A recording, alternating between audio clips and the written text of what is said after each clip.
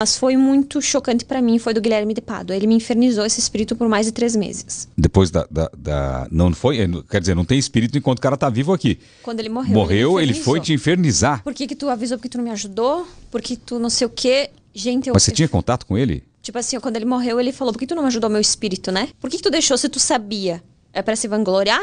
Ah, você fez uma previsão dele? Sim, eu fiz uma previsão, inclusive quatro meses antes da morte dele. Qual foi a sua previsão? Vamos lá. Dizendo que ele não ia resistir.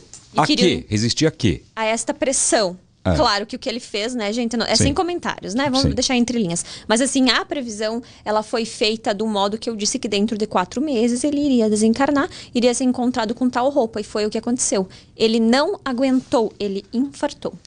Você fez essa previsão de um cara jovem. É- Inclusive, Ah. desculpa te cortar, atrás da foto que eu postei, eu circulei aonde tinha o espírito da morte. Todo mundo viu.